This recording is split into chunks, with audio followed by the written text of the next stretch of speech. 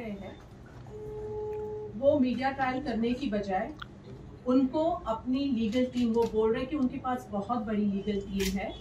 उनकी legal team को लेके पुलिस स्टेशन पहुँचना चाहिए और उनकी लीगल टीम को लेके कोर्ट पहुँचना चाहिए। अगर उनके पास जितने भी सबूत है, उनको बोलो कि कोर्ट में साबित करें। जब वो कोर्ट पहुँचेंगे पुलिस स्टेशन पहुँचेंगे, उसका जवाब हम लीगली देंगे। सर्टिफिकेट दिखाना मैं भी आज पाँच सर्टिफिकेट दिखा सकती हूँ। मैं दस सर्टिफिकेट दिखा सकती हूँ। वीडियोस भी मैं बना के दिखा सकती हूँ। मैं उनसे यही कहूँगी कि आप आदिल आप कल बहुत सारे लॉयर्स का नाम ले रहे थे। आप बार बार ये दोहरा रहे थे कि लीगल टीम है आपके पास तो आपको कोर्ट जाना चाहिए और आपको पुलिस स्टेशन. अभी बड़ा शोरूम कार का डालना चाहता हूँ। मैंने बोला ये सारी बातें बाद में हटाओ। उस वक्त मैंने शेरा भाई से बात कर रही थी, जब हमारा रजिस्ट्रेशन हुआ तो मुंबई आया था।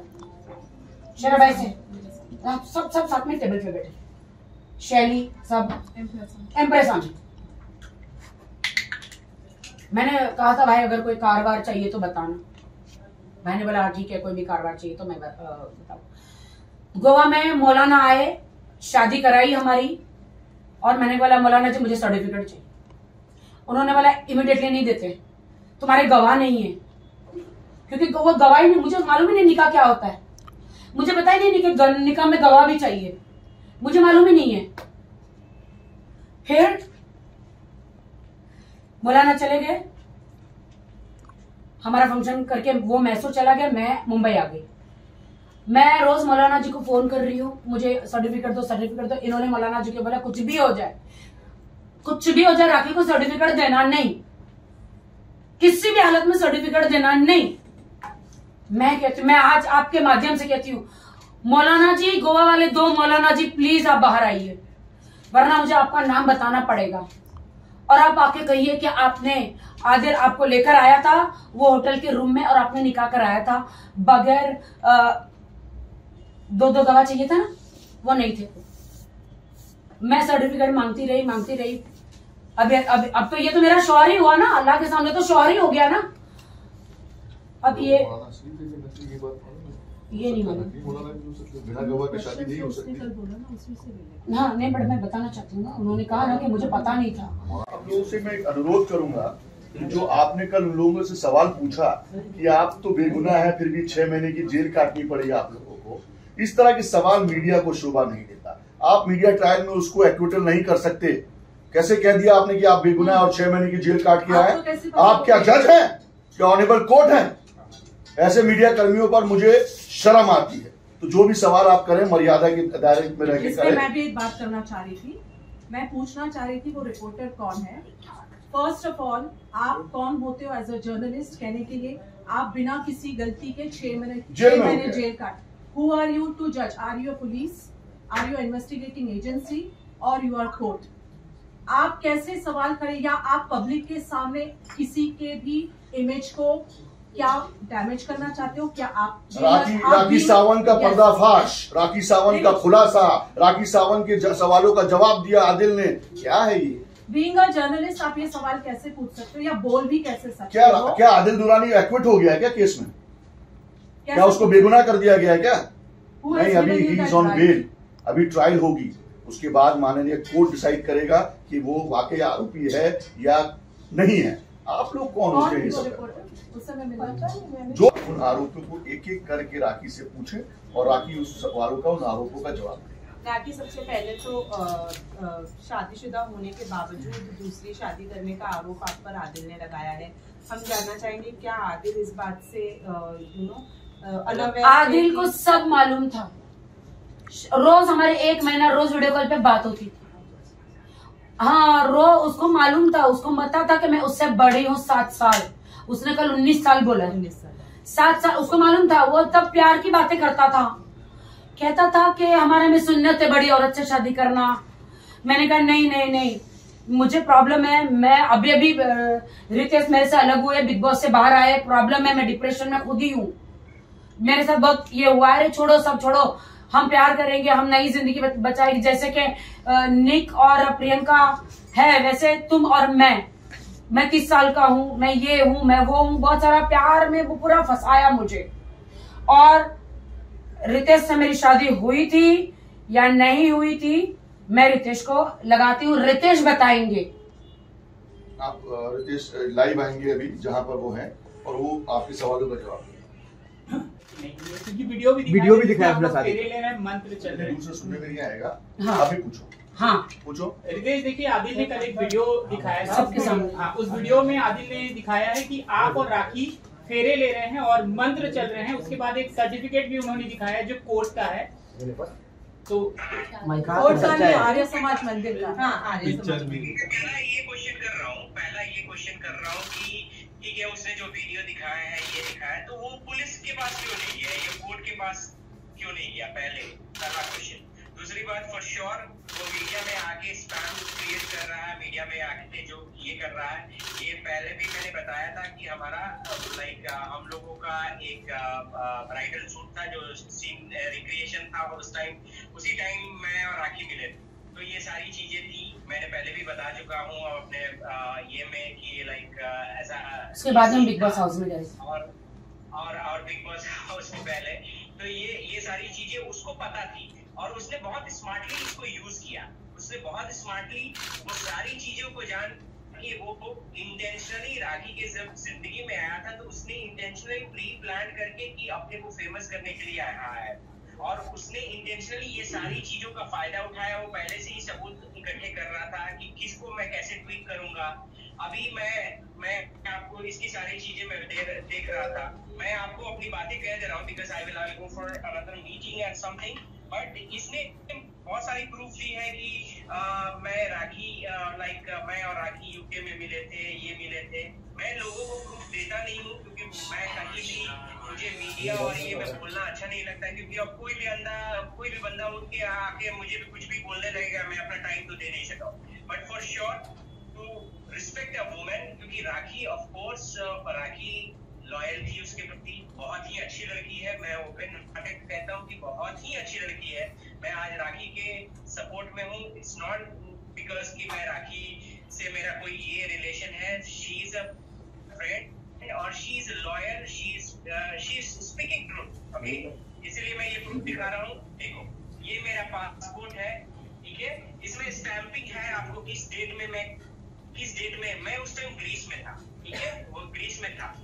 एंड उसमें, उसी बीच में आप देखो कि मेरी एंट्री हुई है आई गेस सोलह को सोलह को मेरी एंट्री हुई है, ठीक है ग्रीस में।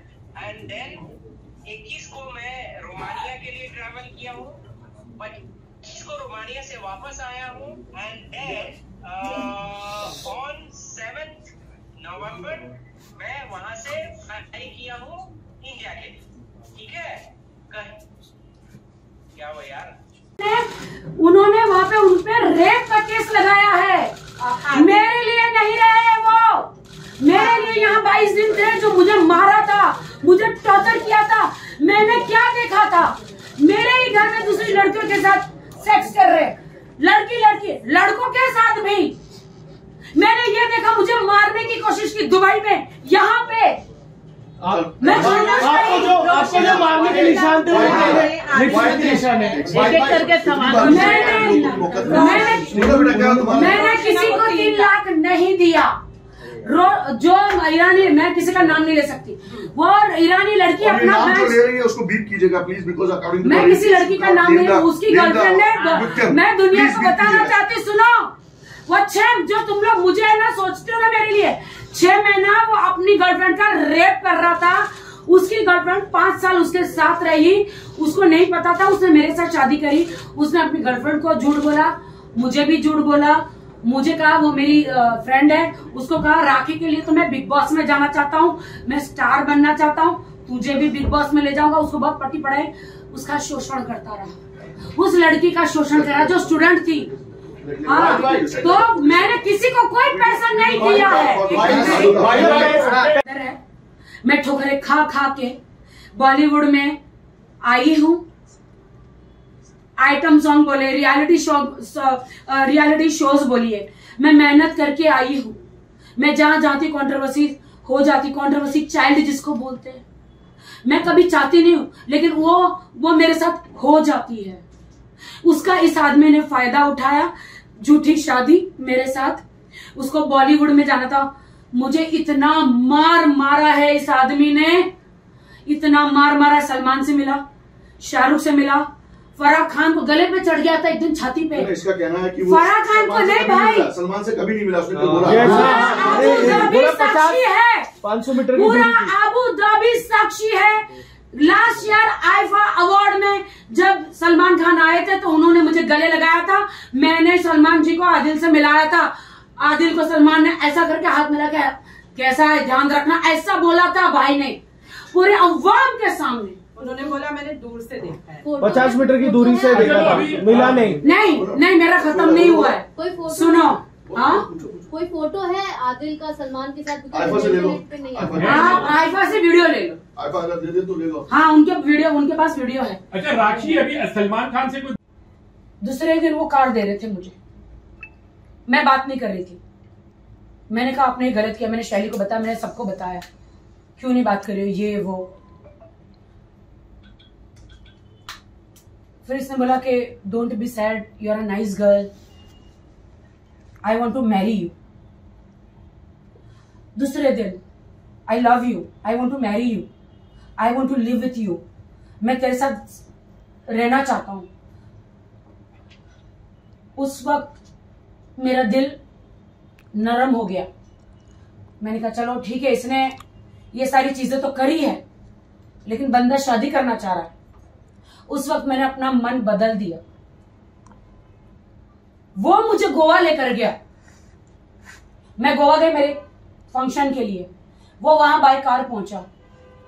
शैली भी पहुँची। मैं मेरी माँ के साथ गई थी। मैंने उस वक्त माँ को नहीं बताया। गोवा में वो दो मौलाना को लेकर आया। होटल कौन सी थी वो मैं आपको बता दूँगी, कौन से होटल में मैं रुकी थी। सीसीटीवी फुटेज भी आप देख सकते हैं वहाँ पे। एक साल पुराना। दो मौलानों को लेकर आया। मैंने बोला, अगर आप आपने बोला है मुझे वहाँ पे शादी करेंगे, ये, वो, निकाह करेंगे।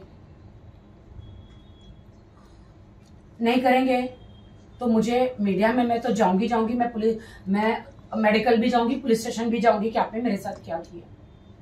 देन मौलाना को लेकर आए। मौलाना मुझे देख के डर गए, गोवा के मौलाना। अरे भाई राखी सावंत का निकाह?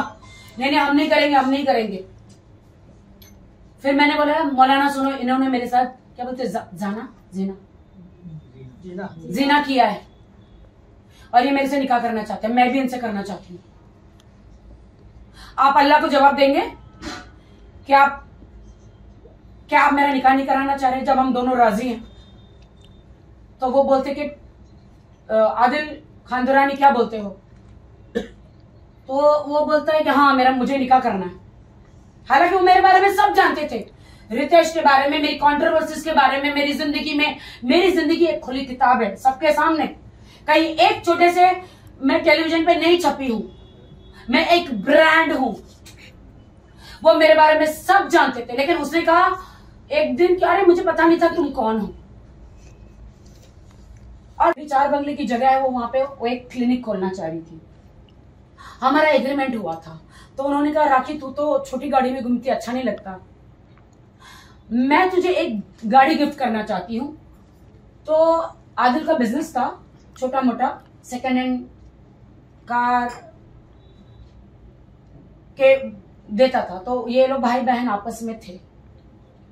तो उन्होंने मुझे मुझे शैली ने बोला कि you come here I want to gift you car मैंने कहा मैंने कहा, ज़रूरत नहीं है। मैंने कहा, शैली, आप एक काम करो ना, कार आप है ना, मुंबई भेज दो। बट अब मुझे नहीं पता कि वहाँ पे क्या षड्यंत्र रचा जा रहा है आदिल खान दुरानी का। आदिल खान दुरानी ने कहा कि, नहीं दीदी, कुछ भी हो जाए, उसको यहाँ बुलाओ। उसने बोला, नहीं आदिल, उस कार बना के उसको भेज दे बाई रोड नहीं दीदी, उसको कुछ भी बोला, इधर बुलाओ। कुछ भी हो जाए, उसको इधर बुलाओ। मैंने कहा, मैं नहीं आ रही, मैं नहीं आ रही हूँ। हज़ार बार मना करने के बाद भी उसने बोला, नहीं आपको क्या क्या चाहिए अंदर कार में? ये तो फिर मैं बोली, यार, कभी मैं बीएमडब्ल्यू कार में घूमी नहीं हूँ। मैं कार लेने चली गई। लेकिन उसके पहले उसने प्लान बना के रखा था। प्लान बना के रखा था कि राखी को कैसे षड्यंत्र रचाना है, कैसे जाल डालना है। हाँ मैं दूध पीती बच्ची नहीं हूँ। मैं दूध पीती बच्ची नहीं हूँ। बट वो जाल मुझे नहीं दिखाई दिया। मैं गई शर्म आती है मुझे भाई के सामने बोलते मुझे कहीं खौफ था, इसलिए मैं अपने भाई राजीव खैची को यहाँ से लेकर गई, साथ में टिकट बना उसने उसका, मैंने मैंने बोला दो रूम बुक करना। उसने दो, एक रूम मेरा इधर बुक किया, एक रूम कहीं दूर, कहीं राजीव का बुक कर दिया। बोली, भाई, आपका रूम कहाँ है? उन्होंने बोला, दूर है। इनका एक बंदा आया, मैं आदिल रूम में थे, बाहर से लॉक मार के चला गया।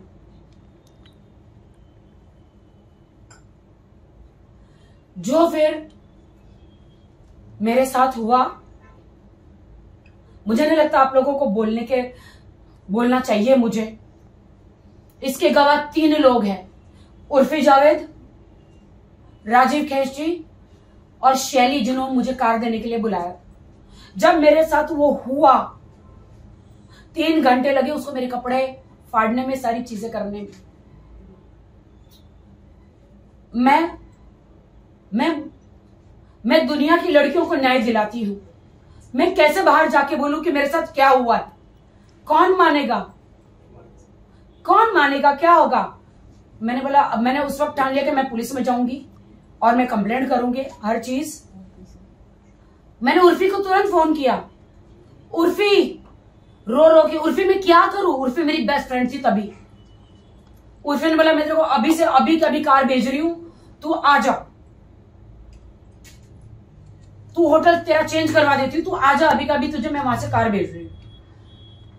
भाई, बिल्कुल आप पूछ लेना आप लोग उर्फी से। मैं हिंदू धर्म में पैदा हुई।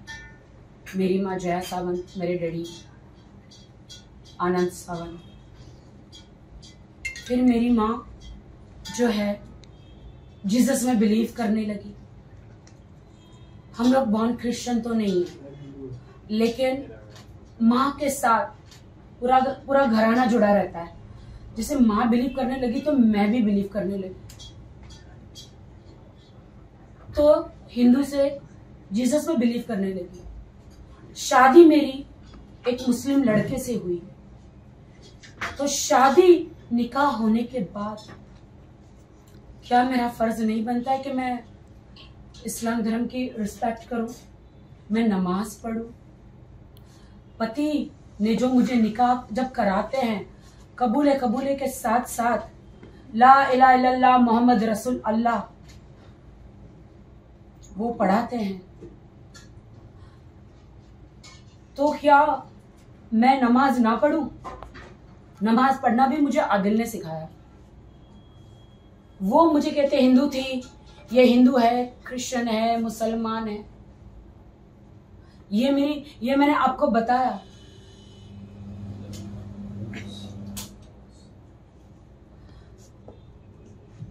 मैं शौक हूँ। यही मीडिया है ना, जिन्होंने मेरा सपोर्ट किया था। यही मीडिया है ना, जिसको मैंने सारे सबूत दिए थे। ना मेरा माँ है, ना बाप है, ना इस दुनिया में कोई है। मैं सालों से मीडिया में हूँ। किसका बिगाड़ा है मैंने? कभी किसी का नहीं बिगाड़ा, किसी के साथ बुरा नहीं किया। सारे सबूत हमेशा आपको देते गई आपको सारे सबूत देने के बाद भी आप लोग आँख बंद करके कैसे बोल सकते हो कि आप तो बेगुनाह थे, छह महीने में, छह महीने अंदर रहे। क्या हमारे देश का कानून, आप लोग उनको ललकार रहे हो कि वो लोग ने आदिल को बगैर सबूत के ऐसी छह महीने डाल दिए? क्या मेरे पास कोई सबूत नहीं थे? आदिल ने मुझ पे इतनी मार पिटाई करी थी। शादी के एक महीने के बाद ही मार पिटाई शुरू हो गई थी। लेकिन मैं तो हूँ राखी सावंत ना कॉन्ट्रोवर्शियल गर्ल कौन मानेगा मेरी बात? कौन मानेगा मेरी बात? नीचे इंस्टाग्राम हर जगह लिखते हैं। अच्छा पहला पति था, इसका तो घर कभी नहीं बसेगा।